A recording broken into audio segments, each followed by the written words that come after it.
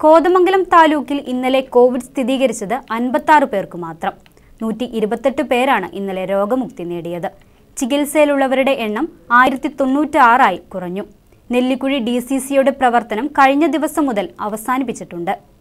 താലൂക്കിൽ ഇന്നലെ കോവിഡ് സ്ഥിരീകരിച്ചവരുടെ എണ്ണം അൻപത്തിയാറായത് രോഗവ്യാപന തോത് ഗണ്യമായി കുറഞ്ഞതിന്റെ തെളിവായാണ് ആരോഗ്യ മേഖലയിലുള്ളവർ വിലയിരുത്തുന്നത്. ഇന്നലത്തെ കണക്കിൽ പതിമൂന്ന് പേർ പോസിറ്റീവായ മുനിസിപ്പാലിറ്റിയാണ് മുന്നിൽ. പല്ലാരിമംഗലത്ത് പന്ത്രണ്ട് പേർക്കും നെല്ലിക്കുഴിയിൽ എട്ട് പേർക്കും വാരപ്പെട്ടിയിൽ ആറു പേർക്കും രോഗം സ്ഥിരീകരിച്ചു. മറ്റിടങ്ങളിൽ അഞ്ചിൽ താഴെയാണ് പുതിയ രോഗികളുടെ എണ്ണം. പൈങ്ങോട്ടൂർ നാല് കോട്ടപ്പടി നാല് പോത്താനിക്കാട് മൂന്ന് കവളങ്ങാട് രണ്ട് കീരമ്പാറ രണ്ട് പിണ്ടിമന രണ്ട് എന്നിങ്ങനെയാണ് മറ്റിടങ്ങളിലെ കണക്ക്. കുട്ടമ്പുഴയിൽ ആർക്കും രോഗം സ്ഥിരീകരിച്ചില്ല.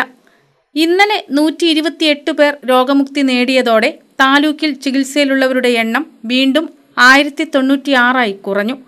കുട്ടമ്പുഴയിലും മുനിസിപ്പാലിറ്റിയിലും വാരപ്പെട്ടിയിലും മാത്രമാണ് നൂറിലധികം ആക്റ്റീവ് കേസുകളുള്ളത്.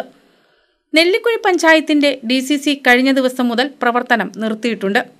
താലൂക്കിൽ ഇപ്പോൾ കോതമംഗലത്തെ സി എഫ് എൽ ടി സിയിലും വാരപ്പെട്ടി കുട്ടമ്പുഴ കീരമ്പാറ കവളങ്ങാട് പൈങ്ങോട്ടൂർ എന്നിവിടങ്ങളിലെ ഡി സി സികളിലുമാണ് രോഗികളുള്ളത്.